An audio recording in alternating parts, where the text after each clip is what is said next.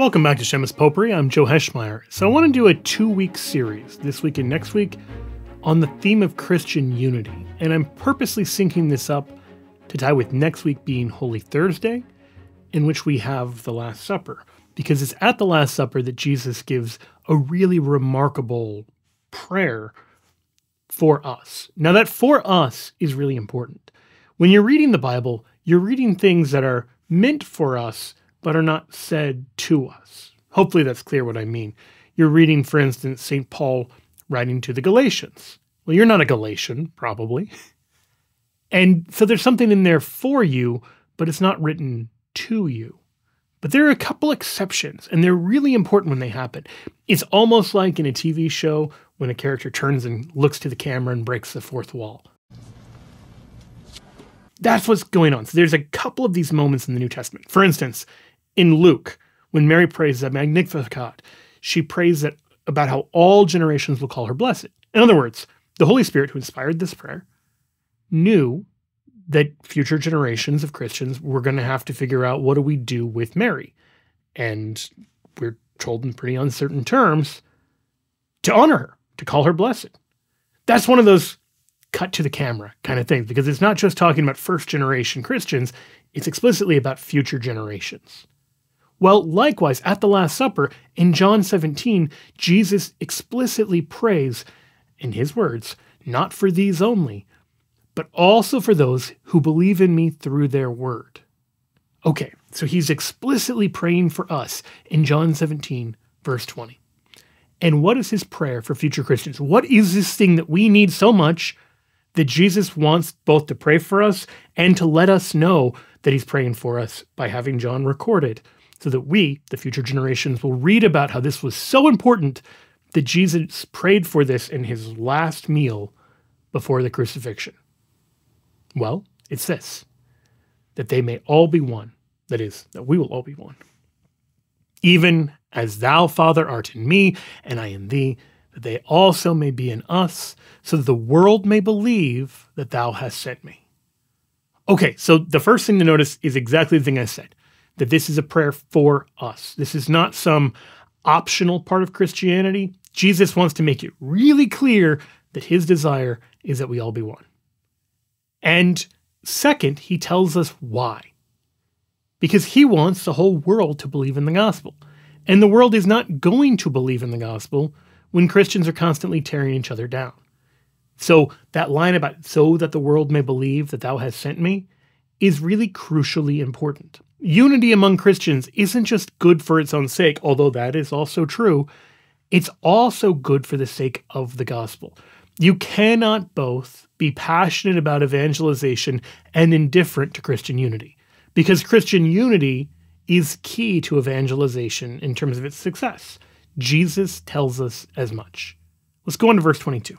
He says, The glory which thou hast given me, I have given to them, that they may be one even as we are one. I in them, and thou in me, that they may become perfectly one. And then he says again, Why? So that the world may know that thou hast sent me, and hast loved them even as thou hast loved me. That is, the Trinity is the model of Christian unity. The perfect love of Father, Son, and Holy Spirit is the model for what it should look like for Christians to love one another and to be completely unified. The will of Father, Son, and Holy Spirit is entirely one. The Father is not at cross purposes with the Son. The Spirit is not trying to do some different mission than that of the Father and the Son. No, they're completely united in heart and mind, as it were. And that's what we're told we need to be like. And why? Again, so the world will convert to Christianity. Okay, now I want to unpack a commentary on this by Ben Witherington III. You may be familiar with him. He's a theologian. He's a professor of New Testament, uh, excuse me, professor of New Testament for doctoral studies at Asbury Theological Seminary. Uh, in relevant part here, he's the author of a commentary on the Gospel of John called John's Wisdom, a commentary on the fourth Gospel. He's also a pastor of the United Methodist Church. And I want to engage with what Witherington has to say on this passage because I found it very thought provoking. There are parts that I think are right on the money and I'm going to agree with them. But a little later on, I'm going to show where we disagree and how I think he shows the inadequacy of Protestantism to fulfill Jesus' prayer. In other words, I think Witherington, for all of his brilliance and insight, is going to show us that it's impossible for Protestants to live out this prayer of Jesus. Not for lack of faith, not for lack of effort, but because of the inadequacies of Protestantism itself. I'm getting ahead of myself. I'll show along the way how Jesus' prayer only makes sense if there's some kind of infallibility within the church. But before we get there, here's Witherington talking about the passage. He says, It is to be noticed that Christ prays for the spiritual unity of believers. It is something God given and spirit sustained, but it can be put asunder by divisions, rivalries, factionalism, caucuses, and church splits. That's the first thing that Christian unity is not something simply taken for granted, but nor is it something that's simply the result of human effort. Now, we can certainly impede it, we've seen that in our own lives. But true Christian unity is going to be something divinely ordained and divinely instituted. And then Witherington points out that sometimes the first law of American Protestant ecclesiology, ecclesiology is study of the church, seems to have been thou shalt divide and multiply, right? Like there's no shortage of Protestants out there forming new denominations, new churches, new non denominational churches that are just denominations unto themselves, new structures that are independent of the old structures, and creating more and more and more division. And Ben Witherington says this is not by any means necessarily a good thing. Then he says a little later, it is indeed a poor witness to the truth when the churches cannot even get their act together enough to agree on the fundamentals of what the truth in and about Christ amounts to. Now, this is a really important point. It's not just, oh, they have these independent bodies that are all agreed on all of the major doctrines and they're just operating independently of one another. That's not the problem. The problem is much deeper. That within Protestantism, this is a, a perennial problem that I have as a non Protestant. As a Catholic, if I say, hey, Protestants believe in X, invariably, someone will say, I'm a Protestant and I don't believe in X. Fair enough. There is no set of doctrines, no matter how important, that all Protestants agree to, unless you just define it tautologically. If you say, well, we only accept believers in the Trinity as true Protestants, then fine. If you make that part of the definition, then you can say all Protestants agree on the Trinity. If you don't make that part of the definition, then you count like oneness Pentecostals and those who deny the Trinity well, then you can't even say that there's an agreement on the Trinity. Hopefully, you get the idea that there's a whole theological free for all within Protestantism. And as Ben Witherington points out, this is not helping evangelization efforts. Someone who is not a Christian who asks five different Protestants, leave Catholics, Orthodox, etc., out of the picture, and just ask five different types of Protestants, what's Christianity all about? they might well get five different answers that aren't just different emphases, but are actually contradictory. That can't both be or all be true. And if you think that hinders the gospel, you're right. Okay. But then Ben Witherington points out another problem that if one finds one particular denominational version of the gospel too unsettling, one may choose from a smorgasbord of other interpretations and approaches. Like, see how this undermines the gospel. Hey, if you don't like this teaching, it's hard. Hey, this teaching about the Eucharist is hard. That teaching about marriage is hard. You can find another body calling itself Protestant, calling itself Christian, that'll give you what you want to hear. And that's a problem as well. So not only are the non Christian, unchurched people unlikely to be persuaded, but this creates a huge problem of watering down the gospel when Christians are contradicting each other about what it even means to be Christian. And so, looking at this passage in John 17, he says the material in the farewell discourses, that's what we're looking at right now, encourages us to wrestle once more with what really amounts to truth and unity in Christ. Like, what do we mean when we talk about truth and unity in Christ? What does that mean? And what we, as the people of God who must bear witness to the world with one accord and one voice, should say. In other words, one thing that's abundantly clear from the New Testament is that we should be speaking together with one voice as Christians. What's equally clear is that we're not. So, how do we get on the same page and what does that look like? He's asking all the right questions here, but he's going to ask one more, even more profound question. He says these discourses also raise disturbing questions of whether the theology of denominationalism, which, after all, is a late invention, caused originally by the Protestant Reformation, is biblically valid and whether the modern ecumenical movement is the way to bring about church unity. So he's asked two hard hitting questions there. Number one, most Christians today, at least most Protestant Christians, take for granted that denominations are just a thing. But historically, this is not true. For three quarters of the church's history, you don't have these denominations just floating around as independent bodies. And the idea that you could just go and create your own denomination basically at will is completely novel in the history of the church. For about 75% of the church's history, you don't have that. Even when there was a major fight, it was a major fight over who got to control the direction of the church or what theology was preached in the church. So you might have, to take one example, a controversy over the, whether the bishop should be a Catholic or a Donatist. But neither side was saying, well, maybe there should be two bishops and they're both valid. We're just going to have separate denominations and go our separate way. It doesn't work like that until the Reformation. And then it does.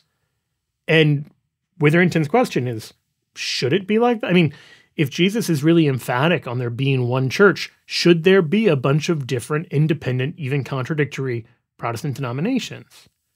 Or why are we just assuming denominationalism is acceptable? And then the second question he has is the problems that we've seen in terms of Christian infighting, the solutions have been with the ecumenical movement. Is that really going to be the solution to this problem? And I think he's asking again exactly the right questions. Okay, now I want to make four points based on this. Number one, truth is non negotiable. In other words, we can't have a unity at the expense of truth. Point number two, unity is non negotiable. So we can't say, because of our commitment to truth, we just can't have unity. That's not acceptable either. Number three, Protestantism, as I already alluded to, is incapable of providing both truth and unity. And here, Witherington is going to be, I think, right on the money in one way and miss the mark in another. We'll get to that. And then, fourth and finally, Catholicism can and does provide truth and unity.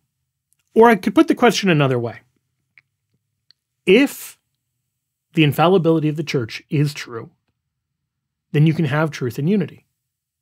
If the infallibility of the church isn't true, you can't have both truth and unity for reasons that will become very clear very quickly. And that's going to be a problem because we need to have truth and unity.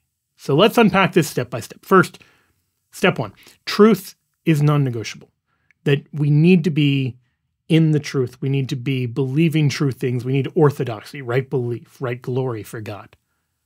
Why is this? Well, one way to look at it is John 14, verse 6, when Jesus says, I am the way and the truth and the life. No one comes to the Father but by me. So you can't abandon the truth without abandoning the way to the Father, because it's ultimately abandoning Jesus. And St. Peter says exactly this in 2 Peter 2. He warns about false prophets rising up and bringing in destructive heresies. And he talks about how they will bring upon themselves swift destruction. And he warns that many will follow them, and because of them, the way of truth will be reviled. So if you accept a bunch of destructive heresies, you're both bringing spiritual destruction upon yourself and wandering away from the way, the truth, and the life. Obviously, that's not an acceptable outcome. I don't think there's going to be a big debate on that, so I'm keeping this part pretty simple. So, truth is non negotiable. Step two unity is also non negotiable. For some reason, this gets downplayed by many Christians, but it shouldn't. Now, on the one hand, you have all the verses kind of praising the beauty and goodness of unity. Psalm 133, for instance, says how good and pleasant it is when brothers dwell in unity, describes it as like the precious oil upon the head, running down upon the beard of Aaron. Just glorious anointing. Psalm 133 is literally just all about how good unity among believers is. But it's not just that. St. Paul in Philippians 2 prays for this, and he encourages us. He says, if there's any encouragement in Christ, any incentive of love, any participation in the Spirit, any affection and sympathy, complete my joy by being of the same mind, having the same love, being in full accord, and of one mind. Now, that gives us a little clearer sense of what unity looks like. It is both a unity of affection and a unity of belief. That is, we actually believe the same things. We're united on the issues of the truth. We don't just, hey, agree to disagree. That's not unity. Not in the Christian sense, not in the biblical sense. But it's also a unity of heart. We're not tearing each other down, we're caring about each other, we're building each other up. There's a true affinity there. It's both things. We need both the unity of heart and unity of mind.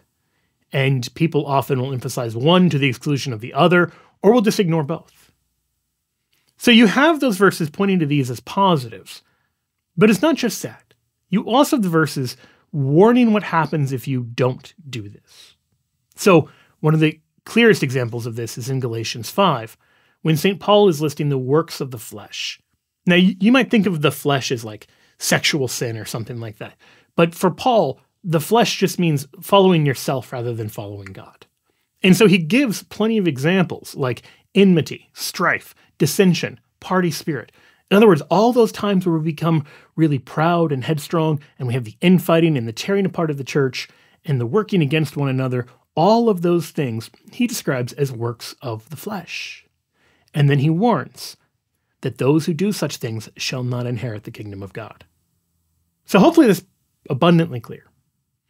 You should care about Christian unity both because it makes life good and because Jesus prays for it and Paul begs for it, and also because if you work against it, you can ruin your own salvation.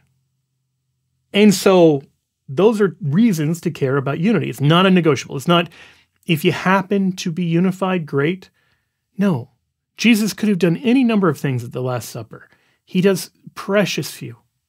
And one of the things he does is prays for us. And the only thing he prays for for us is for unity. We can add one more issue to why this matters, though.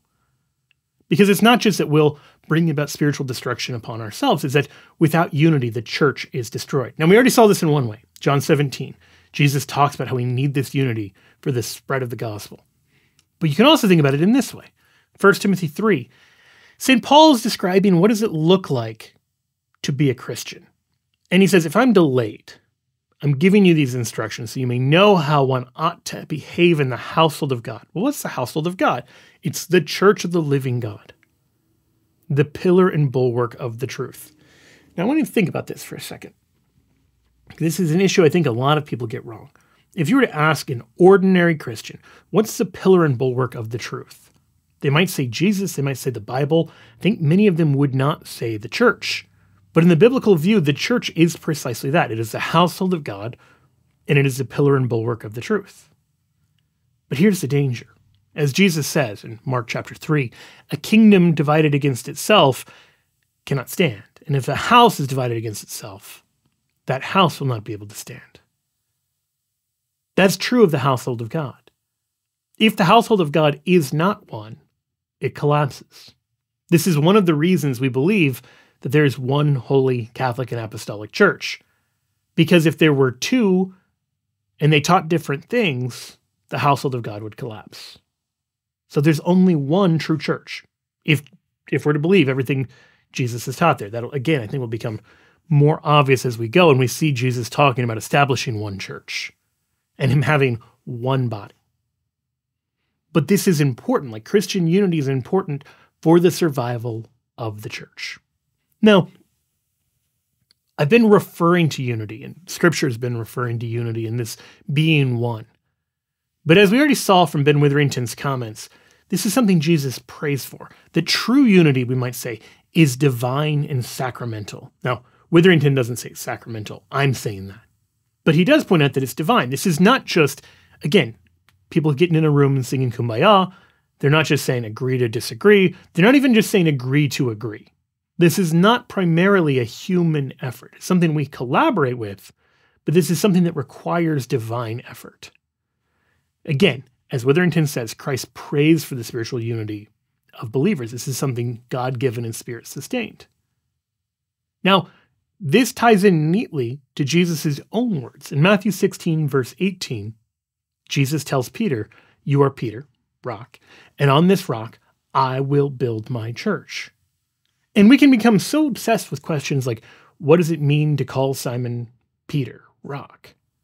What's the rock upon which Jesus will build his church? That we can lose sight of those crucial words I will build my church. That Jesus is the author of the church, he's the creator of the church, and he has won. He doesn't say, I will build my churches, even less does he say, You will build my churches. He says, I will build my church, singular. And so the true church is of divine origin, because Jesus Christ, who is divine, established it, and there's one. St. Paul describes it in Ephesians 2 by saying that we are no longer strangers and sojourners, but are fellow citizens with the saints and members of the household of God. What's the household of God? The church. Built upon the foundation of the apostles and prophets, Christ Jesus himself being the cornerstone. But then he says in verse 21 In whom, that is, in Jesus, the whole structure is joined together and grows into a holy temple in the Lord in whom you are also being built into it for a dwelling place of God in the Spirit. So you've got these Christians who are obsessed with the temple. You know, oh, we need to destroy the dome of the rock to build a temple so we can have the third temple. Guys, the third temple is the church. St. Paul says that in Ephesians 2. The true church of the Lord is the body of Christ. In John 2, Jesus describes his body as the temple. Because what is the temple? The temple is the dwelling place of God. And just as the Shekinah glory of God overshadowed the Ark of the Covenant, so you've got the entire dwelling of God in the person of Jesus Christ, God and man joined together. One divine person, two natures. Something even more glorious than the ark, even more glorious than the temple, more glorious than the Holy of Holies, the body of Jesus. And the body of Jesus, both in his historic presence on earth, but also in his continued incarnation through the body of Christ, the church. That is the temple of the Lord. It's the presence of God on earth is there in the church. So Ephesians 2 tells us the unity we're talking about, what's joining us together, what's helping us to grow together, is not mere human effort. It's Jesus and it's the Holy Spirit. And all of this is both divine and, as I said, sacramental, because the body of Christ, the Eucharist, forms the body of Christ, the church, in some mysterious way. Now, that's a much deeper topic. I'm going to point to it without really doing a deep job of explaining it.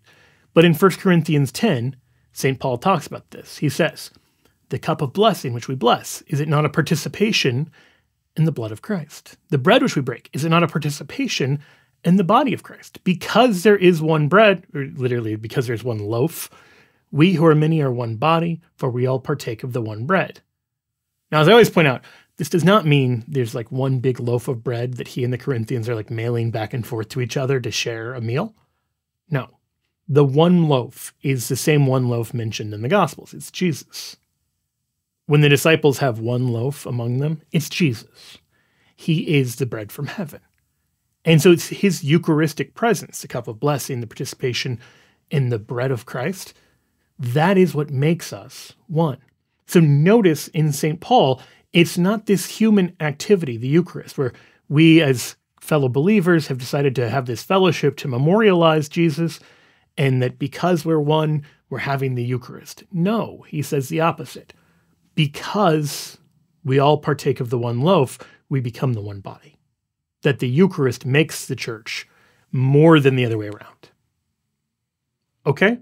So, unity, understood in that way, is necessary. We need this divinely instituted sacramental unity and a unity of heart and mind. We need to love each other. We need to believe the same things. We need to be one body.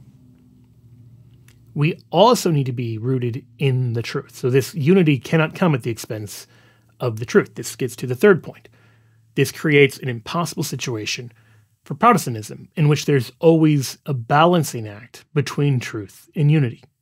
Now, you might say that's an unfair characterization, and I assure you, it's not. Ben Witherington puts it like this He says, There is always a tension between unity among believers and truth as it is understood and held by believers.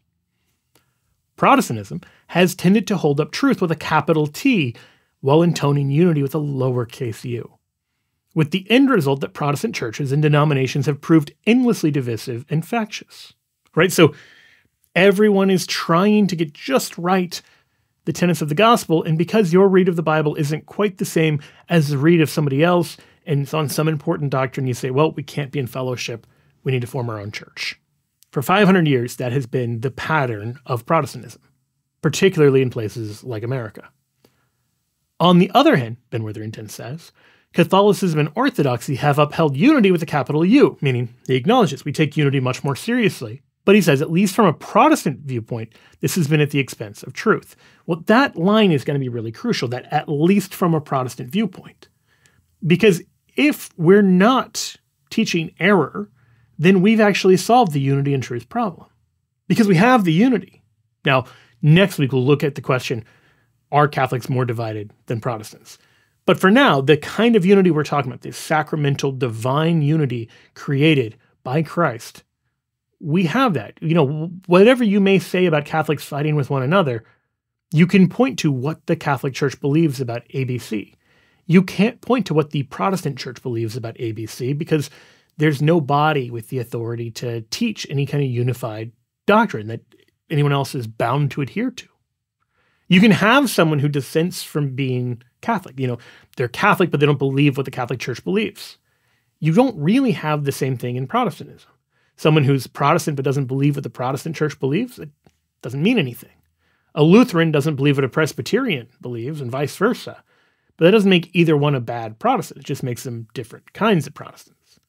A Catholic who denies the Eucharist is a bad Catholic. They don't believe the things their church believes and teaches.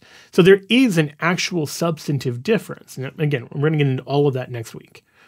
But right now, I want to agree with the first half of what Ben Witherington is saying here. Protestantism has emphasized truth and really downplayed unity, and so you have denominationalism. And Catholicism and Orthodoxy have been really big on unity, and Protestants believe that this is coming at the expense of truth. And so he says, in other words, no part of the church has adequately gotten the balance between truth and unity right, it would seem. All right. What should be glaringly obvious if you've made it this far is you don't have permission to balance truth and unity. You don't have permission to balance any of the commands of God.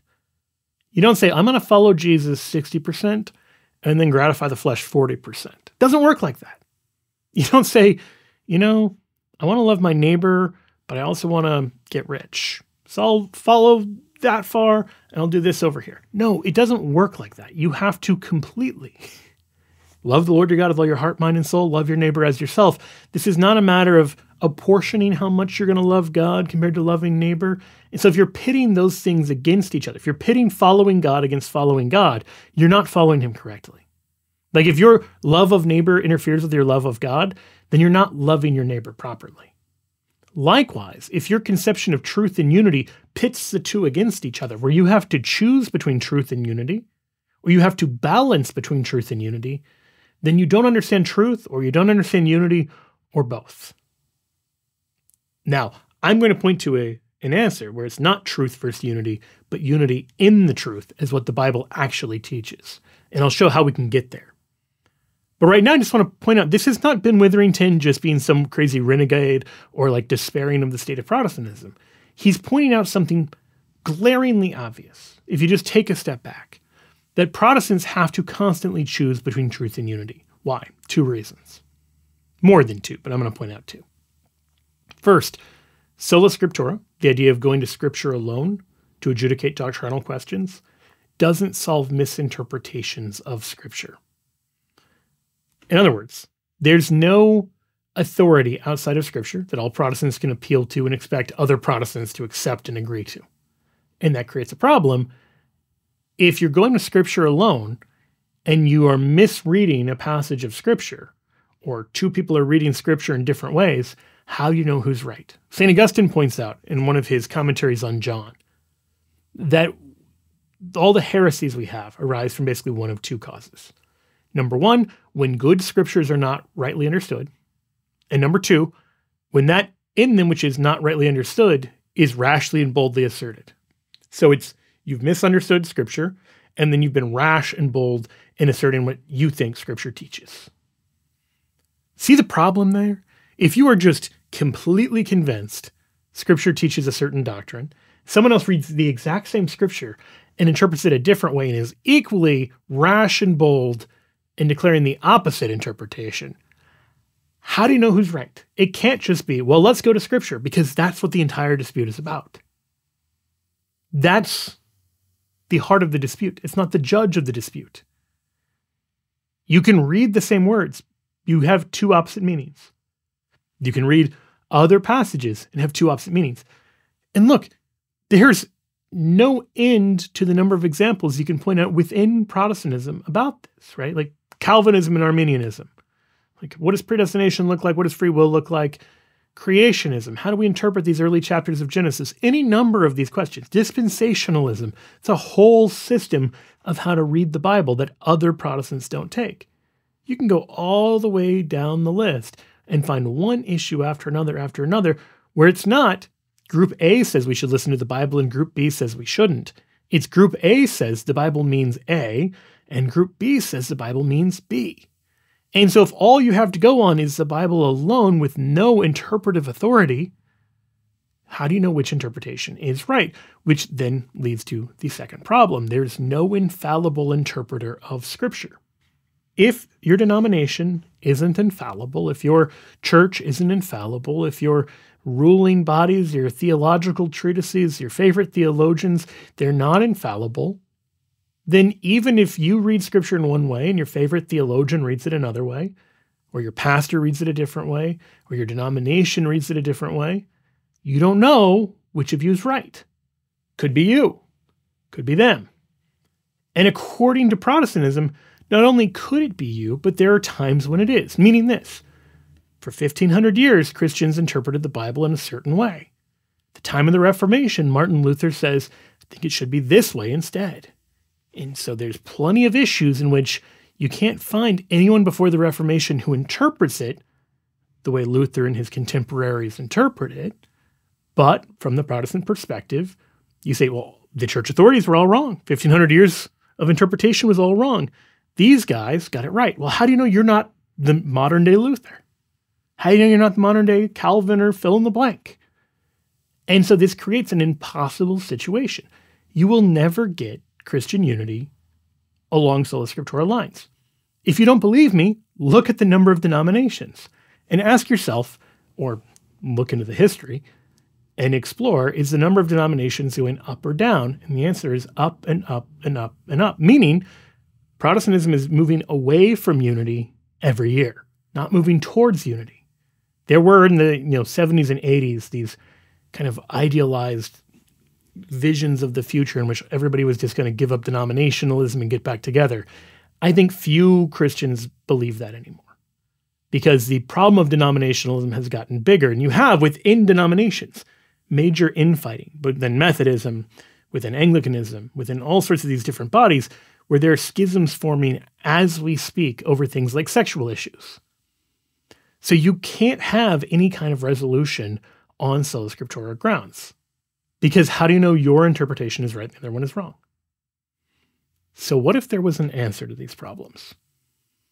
Like, all I want to say here is Protestantism cannot obey Jesus. It cannot obey Jesus both in the call to unity and the call to truth. It has to balance obedience against disobedience. The Catholic and biblical answer is something else entirely. It is unity in the truth in the church. I want to go back to 1 Timothy 3 because I kind of glossed over it. Just the church is the household of God and the pillar and bulwark of the truth. Meaning, think about that. If you want the truth and you want unity, be in the church. That's what St. Paul is showing you there. If the church is reliable, if it's the pillar and bulwark of the truth, which sounds like it's reliable, then if you want true Christianity, go be part of the church. This becomes really clear in another of St. Paul's writings, his letter to the Ephesians. This is really all over Ephesians. Ephesians 1 talks about the church being the fullness of Christ, that Jesus, the head, with the church, his body, is the full Christ. Ephesians 4, though, is what I want to focus on. Ephesians 5 is really good too. It talks about the church as the body of Christ and the bride of Christ and being one flesh with Christ, that one flesh union where the two become one. It's a really incredible vision of the church. But Ephesians 4 is where we're going to go. In Ephesians 4, St. Paul says that he's begging us to lead a life worthy of the calling to which you have been called. So again, you have the begging, the pleading of Paul. With all lowliness and meekness, with patience, forbearing one another in love, eager to maintain the unity of the Spirit in the bond of peace. So, how does that look? Well, Paul goes on in verse 4 to say, There is one body and one Spirit, just as you were called to the one hope that belongs to your call one Lord, one faith, one baptism, one God and Father of us all, who is above all and through all and in all. Meaning, there's only one church, just as there's only one true faith and only one true baptism. When you get baptized, you are entering in some way into the church if you're validly baptized. You're not baptized into some separate church, some separate body. Jesus has one body. To imagine that Christ becomes incarnate as two bodies would be an abomination, not an incarnation. And so there's one body and one spirit, the Holy Spirit. And the Holy Spirit is not contradicting himself, right? It isn't as if the Holy Spirit is leading one group of believers to say that the Eucharist is the body and blood of Jesus, and then leading another group of believers to say it's not the body and blood of Jesus. One of those is not being led by the Spirit in that. That's just as simple as it. Unless the Holy Spirit is contradicting himself or lying, or unless there's two spirits, one good and one evil, then if we say there's one Holy Spirit, then you're only going to have one true faith right? One true creed because only when when two different churches are going different directions or two bodies or two denominations are going different directions, they can't both be led by the spirit in opposite directions. And so you can't believe that this plurality of different teachings and creeds and customs is desired of God. There's one body and one spirit. There's one faith because there's one Lord. Hopefully, it's clear. Paul is very clear about that. And so, what does it look like? Well, jumping down a little bit in Ephesians 4, he explains how God maintains this unity through his gifts. And his gifts were that some should be apostles, some prophets, some evangelists, some pastors and teachers for the equipment of the saints, for the work of ministry, for building up the body of Christ, until we all attain to the unity of the faith and of the knowledge of the Son of God to mature manhood, to the measure of the stature of the fullness of Christ. Let's pause right there. Because what Paul has just said is God has given his gifts to the church for what? He's given these church offices and roles within the church, in the body, to create unity. That the institutional church exists not for its own glorification, but to allow us all, notice that it's not me collectively trying to maintain orthodoxy, is that we will all be united in the unity of the faith. So we're united in truth. We're not balancing unity against truth. We're united in the unity of the faith and of the knowledge of the Son of God. And in this way, the body of Christ grows up, as it were, to the measure of the stature of the fullness of Christ. And Paul says in verse 14, so that we may no longer be children tossed to and fro and carried about with every wind of doctrine. In other words, if you don't have the church, the pillar and bulwark of truth, if you're trying to go it alone, you don't have the gift of the church, which is God's gift for us all, then you're going to be tossed to and fro with different doctrines. So it isn't that you are going to successfully achieve truth at the expense of unity. If you give up unity, Paul is saying you're going to give up truth because you put yourself in a position where you are susceptible to being tossed to and fro by every wind of doctrine, by the cunning of men, by their craftiness and deceitful wiles.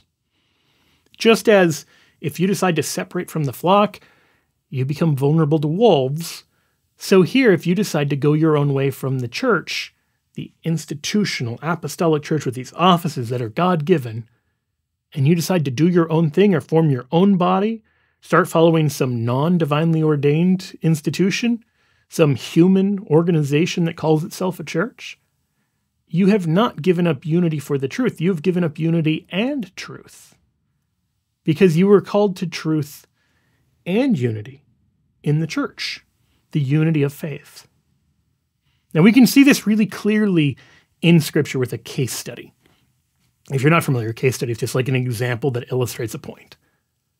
And the case study is a heresy that's sometimes called the Judaizer controversy, sometimes you'll see it called like the party of circumcision. And it just means this one of the first heresies that the early Christians faced were folks who said you needed to follow the Mosaic ritual law, things like circumcision, to be able to be saved. And this was, as you might imagine, a big deterrent to evangelization. If you tell a bunch of adult men, you know, you thought you were saved following Jesus Christ, but you also have to get circumcised now, that is creating a bit of an obstacle for evangelization efforts. And so it's worth looking at how the apostles respond to this, including the apostle Paul. Paul, in his letter to Titus, in Titus 1, verse 7, says, For a bishop as God's steward must be blameless. And he gives a lot of criteria for what a bishop ought to look like. But I want to focus particularly on verse 9, where he says that he, the bishop, must hold firm to the sure word as taught, so that he may be able to give instruction in sound doctrine, and also to confute those who contradict it. So the bishop, divinely instituted, you know, Jesus creates the apostles, they ordain the bishops. And the bishop has this role not only to give instruction in sound doctrine, but also to confound those who contradict it. And then he gives an example. He says, For there are many insubordinate men. Notice that. Paul does not say, Hey, look at this.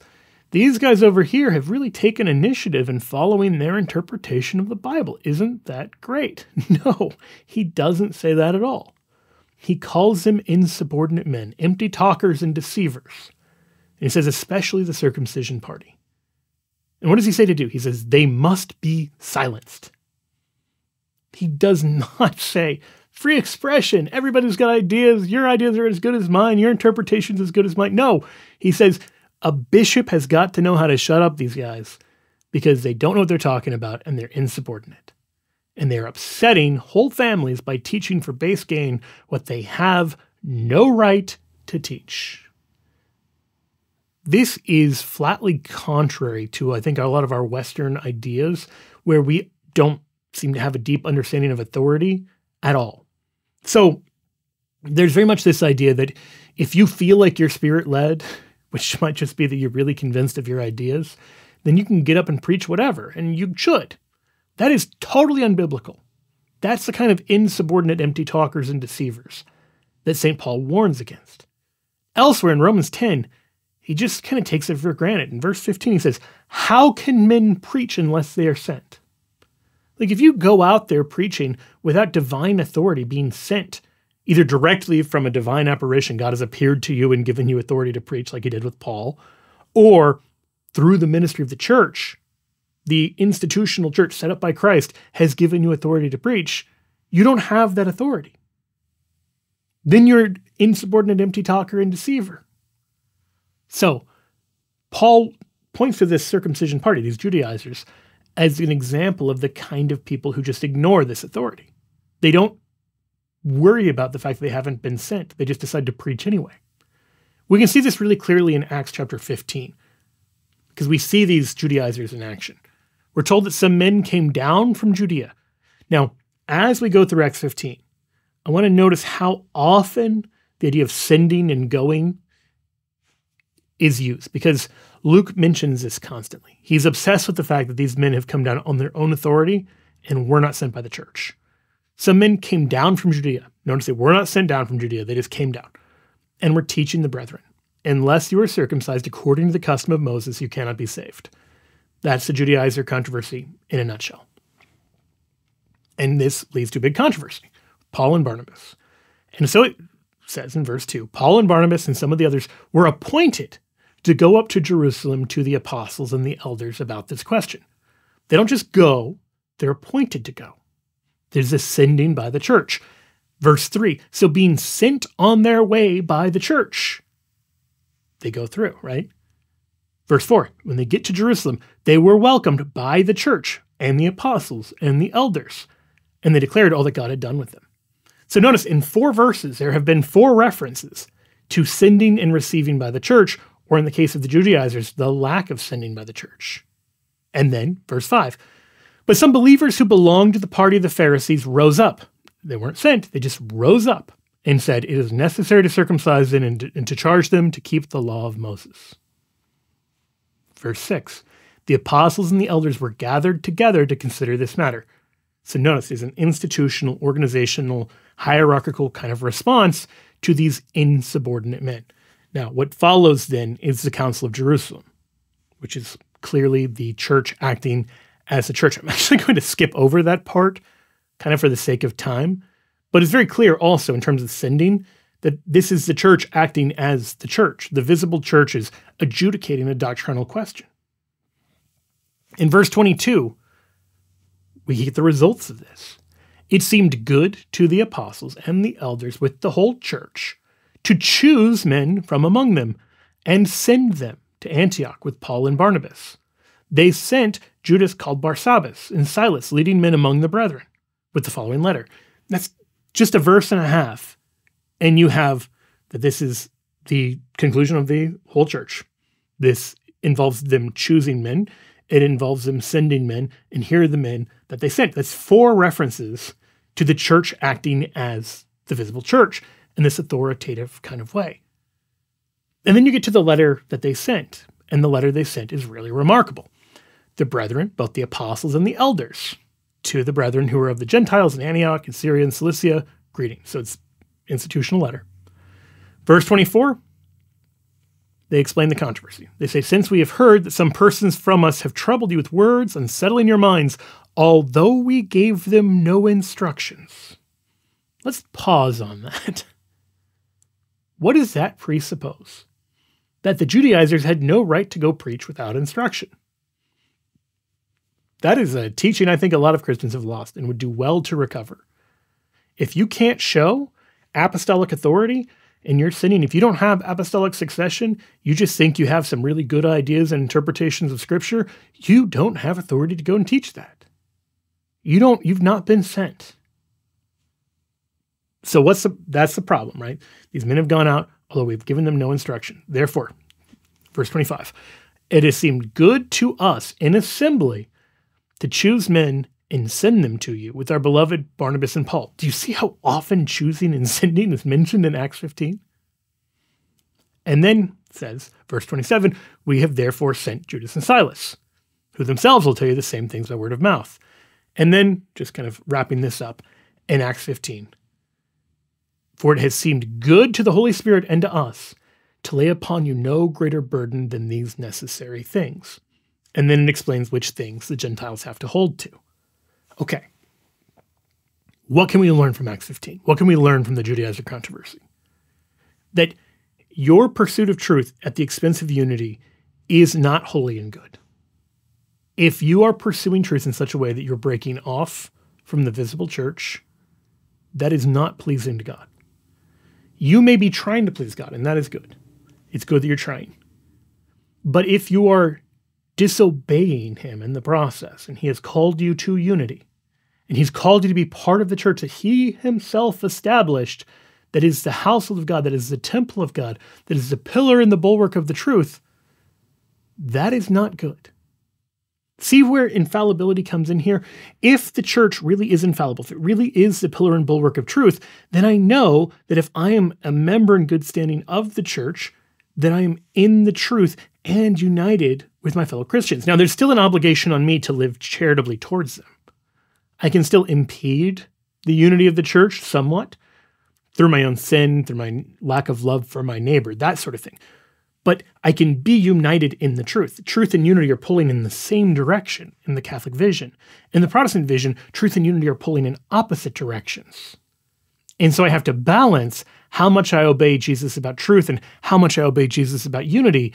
And balancing obedience is disobedience. And so the two options are this either Christ has given us an infallible church, the pillar and bulwark of truth, as the Bible says, or he's given us two impossible commands and forced us to sin against him.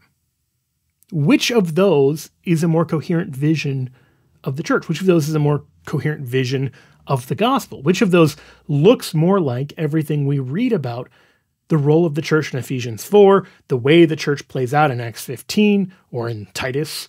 You can see over and over again the church has this really vital role of clarifying the truth and keeping people united. The last thing here there's kind of a strange position that many mainstream Protestants find themselves in. And I mean this You'll find some really out there kind of Protestants. Uh, recently, uh, yesterday actually, a guy asked me what to do with his sola scriptura friend who wouldn't believe in the Trinity because the Trinity is not explicitly in the Bible. Following the principle to kind of its wildest conclusion. But most Protestants would say the early church successfully, perfectly navigated Christology and Trinitarian theology. Meaning the idea that the Father, Son, and Holy Spirit are three persons in one divine substance, the early church nailed it, got it just right.